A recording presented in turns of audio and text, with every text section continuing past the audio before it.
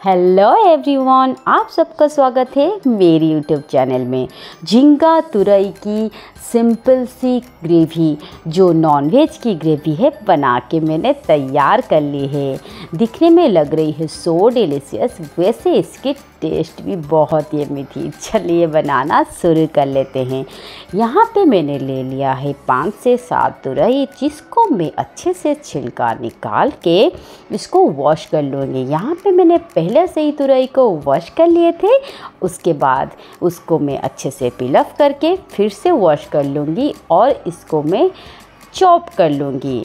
तुरई के साइज़ जो हम चॉप करेंगे ना, थोड़े से इस तरह से लंबे लंबे रखेंगे और इसके साथ जो हम आलू को चॉप करेंगे, उसको हम छोटे छोटे पीसेस में करेंगे, जिसमें क्या होती है, देखने में करी बहुत ही अच्छी लगती है। इस तरह से कट करके रखने के बाद कर लेंगे मसाले तैयार। मैंने यहाँ पे तीन बड़े प्याज, छोटे टुकड़े अदरक और लहसुन की कुछ कलियाँ, दो चम्मच जीरा सूखी मिर्च और ज़रा सी पानी दे के पहले एक पेस्ट बना ली। और यहाँ पे मैंने चार टमाटर लिए थे, उसको भी मैंने अलग ग्राइंड करके उसकी अलग पेस्ट बना ली। करेंगे पैन को गरम और उसमें दो चम्मच, बड़े चम्मच ऑयल दे के पहले जो अदरक और लहसुन की पेस्ट थी, सिर्फ़ उसको डालेंगे और इसको हम अच्छे से पकाएँगे। देखिए, यहाँ पे मसाला आप जितने टाइम तक पकाएँगे, आपकी ग्रेवी जो ना, उसकी टेस्ट बहुत अच्छी लगने वाली है। यहाँ पे मिर्च और नमक और थोड़ी सी मैंने हल्दी पाउडर दे के 10 से 15 मिनट पकने दी। जब ऑयल छुटने लगी, उसी के बाद ही मैंने टमाटर की पेस्ट यहाँ पे ऐड करी है।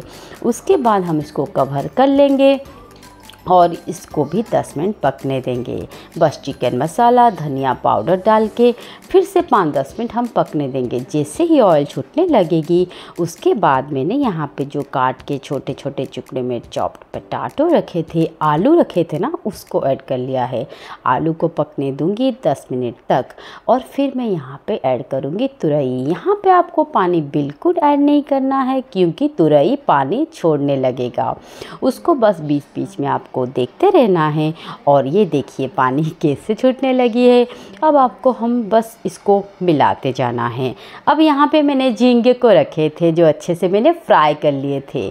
अब ये देखिए छोटे छोटे झींगे और बड़े बड़े आपको पसंद के हिसाब से आप डाल सकते हो। यहाँ पे डालने के बाद यहाँ पे मैं गरम मसाले पाउडर ऐड कर रही हूँ। और इसको पकने दूँगी बिल्कुल दस मिनट। और देखिए यमी सा करी तैयार है। घर वालों ने करी थी, बहुत ही तारीफ़। सच में, आप भी एक बार इस तरह से बना के देखिए। आप भी उंगलियाँ चाट जाएँगी। बहुत ही प्यारी रेसिपी है। Thank you for watching please एक बार इस तरह से बना के तैयार करना। बाय